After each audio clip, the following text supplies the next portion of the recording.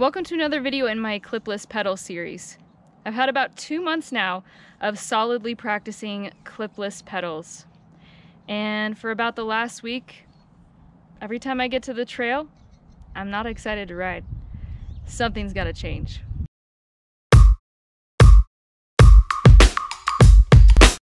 So I've been really trying to dedicate myself to clipless pedal practice. There was one ride that I did a few weeks ago on Highline that I switched back to flats for, but that was one ride. And other than that, you know, my two, three, four rides that I do a week, I have been practicing my clipless pedals. It really has robbed me of a lot of my confidence. I really want to get that confidence on clipless pedals. I've talked to some of my friends who ride both or have made the switch, and it just kind of gave me the realization that it, it could take years to get as comfortable being clipped in as I am on flats.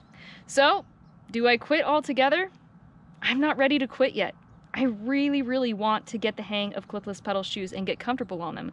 I like a lot of the benefits of being able to ride clipped in.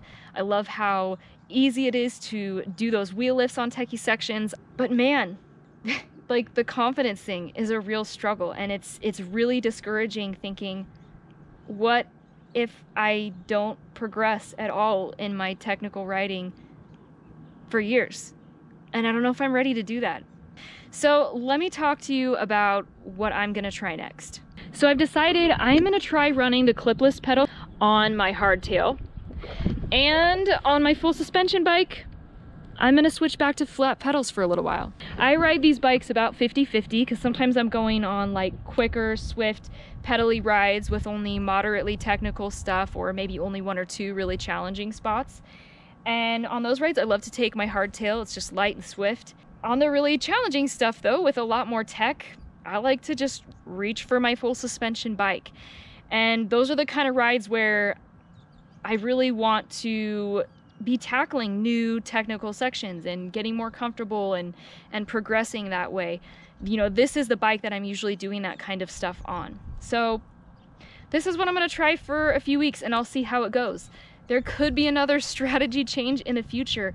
I don't know how it's going to go, but all I know is I've got to do something to still be able to have some wins and some positive feelings about riding because that just breaks my heart to have it be this horrible thing. And I know a lot of you will probably say, oh, you should just abandon it because it's all about having fun. But I'm not ready to call it quits yet because I really do want to get the hang of clipless pedals as well. I have a couple friends and they tend to switch back and forth and they're great riders and they can do awesome things on both and I love to be able to do that. So that is my ultimate goal. I'm going to try this I recognize that a potential pitfall of doing this is that it could just create confusion for me mentally, trying to switch back and forth. Another possibility is that my brain may adjust and I may learn to go back and forth pretty easily, um, like some riders do. I don't really know what to expect. Everybody's different. This is what I'm going to try.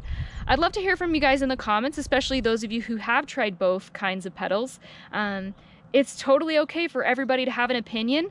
Um, I love hearing your thoughts and and the um, perspective behind why you um, have certain opinions about things.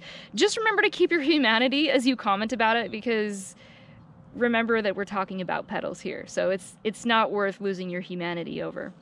Anyway, it's always great hearing from you guys in the comments. I know a lot of you are also on your own clipless pedal journey or you've experienced something like it. I want to give a big thanks to Ibis for sending me amazing bikes to ride, and I want to thank my patrons who also make videos like this possible. Thanks so much for watching. Stay tuned, get dusty.